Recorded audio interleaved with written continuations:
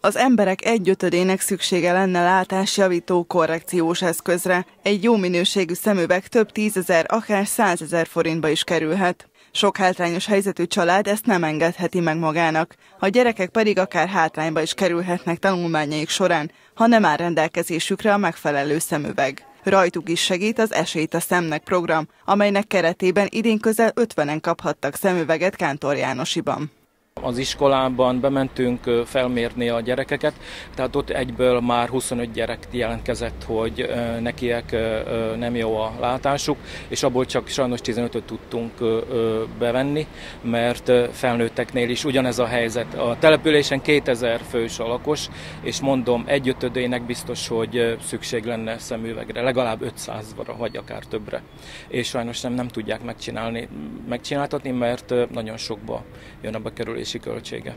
15 gyermek és 34 felnőtt vett részt a programban, akik kiválasztásánál fontos szempont volt, hogy szociálisan hátrányos helyzetű legyen. Az orvosi vizsgálatot pedig a próba követte. Ez a szaküzlet második alkalommal kapcsolódott be a programba. Az ide érkezők 185 jó minőségű keret közül választhatták ki a nekik legmegfelelőbbet. Mivel a programban csak az alaplencséket tudják biztosítani, és sokaknak összetett látás problémájuk van, így volt olyan, akinek rögtön két szemüveget is csináltatni kellett. Néhányunknál rögtön látszott az is, hogy soha nem volt még saját szemüvege.